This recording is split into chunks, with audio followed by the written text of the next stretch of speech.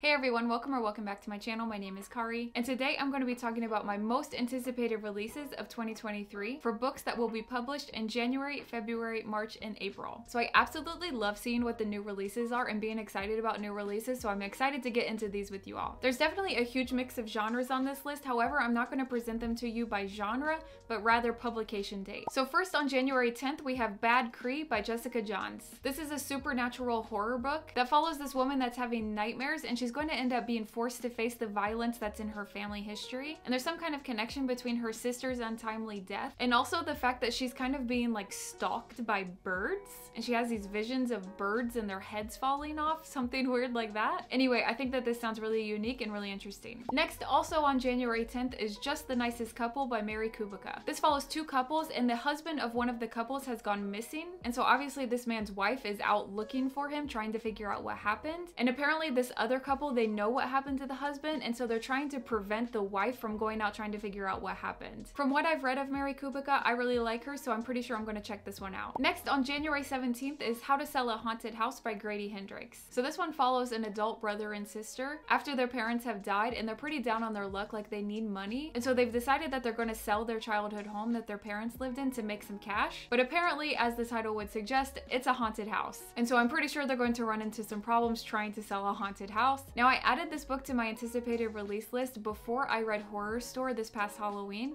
and I didn't love Horrorstör, so I'm not really sure yet if I'm going to end up picking this one up or not. I think I might wait and see what the reviews are like and then go from there. Then on January 19th, we have The Making of House of the Dragon. So basically, this is just a book about the production of the TV show House of the Dragon, which if you've watched any of my videos before, you know that I've been pretty obsessed with George R. R. Martin's work recently, so I'm pretty excited about picking this one up. It just looks like it's going to be a really beautiful coffee table book with a lot of information about the production of House of the Dragon, which I absolutely loved. Then on January 24th, we have All Hallows by Christopher Golden. First of all, this cover freaky.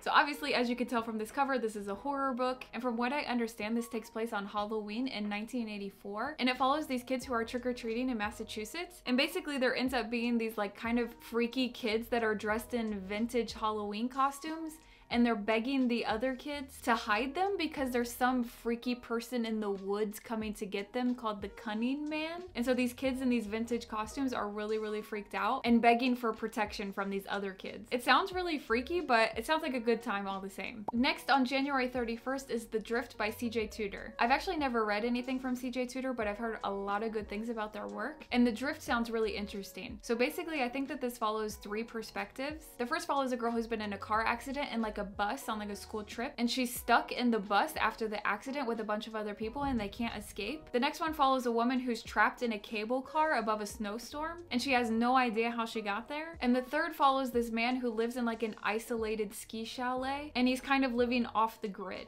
So obviously somehow all three of these timelines are going to converge and I think it sounds really good, especially for January when it's like a snowy story. I'm really looking forward to this one and the early reviews for this are really good. Next on February 7th is Big Swiss by Jen Beagin. So this is set in the 1700s and it follows two women who live in a Dutch farmhouse in New York State. One of these women works for a sex therapist and basically her job is to transcribe the sex therapist's meetings. And through her transcription, she starts to become kind of obsessed with one of the therapist's patients. And this patient is known as Big Swiss, hence the title, because apparently this woman is from Switzerland. So this woman feels like she knows Big Swiss because she's been listening to her talk to the therapist for so long, but in reality, Big Swiss has no idea who she is. But then one day, this woman hears Big Swiss's voice out in public because she's listened to her talk so long. And so the story kind of takes off from there because she approaches her, but doesn't tell her who she is or that she knows who she is. I don't know, I just feel like this sounds like a really interesting literary fiction and I'm pretty sure that I'm gonna pick it up. Next, on February 21st is The Writing Retreat by Julia Bartz. So this is kind of about like a writing competition where a bunch of authors are invited to this writing retreat and the competition is that everyone has to start writing a story from scratch and whoever writes the best story wins this huge cash prize. However, things aren't as they seem and the other writers that are there are very weird and acting very strange towards the main character and she starts to feel like something really sinister is happening. I feel like this sounds like a really fun mystery thriller. Next on March 1st is Mothered by Zoje Stage. So this one is a horror and it's about a mother and daughter. It takes place during the pandemic because the mother has to move in with the daughter because times are pretty tough for her and it follows them getting to know each other better and learning about their darker sides that neither one of them knew about. And apparently like old wounds come to light again again and new conflicts are started between them, but it sounds very dark. And like I said, this is a horror. It sounds like a pretty unique book and I'm definitely gonna pick this one up. Next on March 2nd is The Master and the Margarita Clothbound by Mikhail Bulgakov. I'm really excited that they're coming out with the clothbound for this book because this is actually on my 23 books I want to read in 2023 list, which I'll link that video down below if you're interested in seeing what the 23 books are that I want to read in 2023 are. But anyway, it's really exciting that this is already one of the books that I want to read next year, and it's coming out in the Clothbound Classic, which obviously I love the Clothbound Classics. Next on March 7th is The Kind Worth Saving by Peter Swanson. This is actually a sequel to Peter Swanson's other book, The Kind Worth Killing, which I absolutely loved. I read that in 2017, I think, and it's amazing. It's one of the best thrillers I've ever read. If you haven't read it, I would really recommend it. And so to be honest with you, I don't even know what this book is about. I don't want to know. I'm not going to read a synopsis. I'm definitely going to read it, and I definitely need to read The Kind Worth Killing again because even though I remember little things from that book, it's been like over five years since I read it, so I don't remember all of the details. So I need to reread that, and then I'm definitely going to read The Kind Worth Saving. Next, on March 7th, is The Protege by Jody Gehrman. So this is a mystery that has two points of view. One is from a professor who studies corpses, and one is from a graduate student that comes to work under this professor. And basically, the reason why this grad student has signed up to work under this professor is that she's there to ruin her life. So obviously, there's some kind of mystery around why does this grad student want to ruin this professor's life. I love stories with academic settings, so I think that this sounds really good. Next, on March 28th is A House with Good Bones by T. Kingfisher. I actually just read my first T. Kingfisher this year. I read her What Moves the Dead, which is a retelling of Edgar Allan Poe's The Fall of the House of Usher, and I absolutely loved it. I thought it was so good. So I'm really excited about this new release from her. Basically, it's about this daughter who goes to check on her mom because she's worried that something's just not right with her mom. And when she gets to her house, she starts looking around and things are really weird at her mom's house. Like when she goes out back, she finds a jar of teeth and like there's a vulture circling in the backyard. So like things are really, really weird at her mom's house. And so this is about figuring out what has happened at her mom's house and why is her mom acting so weird. I think that this sounds really good and I'm really excited about it because of how much I loved What Moves the Dead. Next on April 4th, the deluxe edition of Dune Messiah by Frank Herbert is being released. So the deluxe edition of Dune is the one that I have and I've been waiting to pick up Dune Messiah until this deluxe edition comes out. And this is actually another book that's on my 23 books I want to read in 2023, so I'm definitely going to wait to pick this edition up. And this will be the edition that I read in 2023. These editions are really, really pretty. They've got sprayed edges and really beautiful artwork on the end pages and inside the dust jacket. Next, also on April 4th is For You and Only You by Caroline Kepnes. So this is actually the fourth book in the You series. Now the first book, You, is one of my favorite thrillers of all time. I absolutely love that. I read that in 2017, I think. Fell in love. It was great. But then I went on to read the second book, Hidden Bodies, and I hated it. Then I think it was 2021 when the third book came out, You Love Me, and I absolutely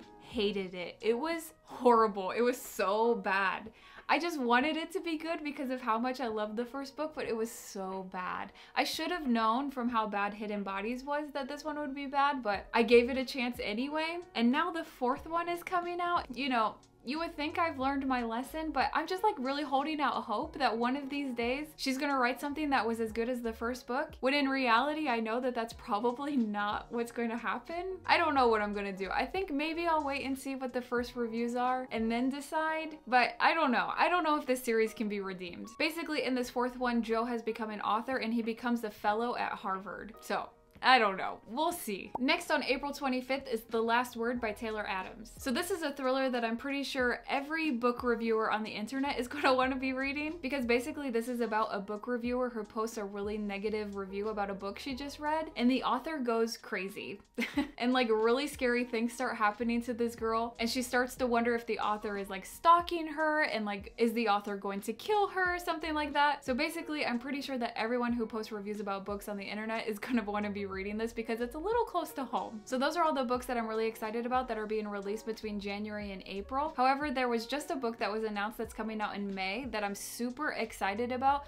I cannot wait to tell you about it until my next anticipated release video. I had to talk about it right now. And so this one's coming out May 25th and it's The Happy Couple by Naoise Dolan. So in 2021, I read Exciting Times by Naoise Dolan and it was one of my favorite books that I read that year and one of my favorite books that I've ever read. I absolutely loved it. If you enjoy Sally Rooney Books, I think you would really enjoy Exciting Times by Naoise Dolan. I'll link my video where I talked about my favorite books of 2021 so that you can see more information about Exciting Times. So ever since I read Exciting Times, I've been waiting for the next Naoise Dolan book and she finally just announced it like a week ago. And so I'm super excited about it. Like I said, if you enjoy the Sally Rooney type of literary fiction, you're gonna love Naoise Dolan. Basically, the happy couple follows five people and how all their lives and their relationships all intersect with each other. And obviously it's gonna be a little bit messy, but I'm really looking forward to this because Naoise Dolan's style of literary fiction is so good and her humor is incredible. I love her humor. So anyway, even though technically that wasn't a part of the four months that I was talking about, I just had to tell you about it because I'm so excited and couldn't wait until my next anticipated release video. So yeah, those are all the books that I'm looking forward to in the months of January, February, March, and April 2023. Let me know if any of them sounded interesting to you that you think you're gonna to check out when they're released. Also, let me know what books you're excited about being released in the first four months of 2023. I always love getting excited about new releases, so definitely let me know. I would love to add to my list of new exciting releases. Please like this video if you liked it and subscribe if you haven't already. I would love to have you back. And I'll talk to you again next time.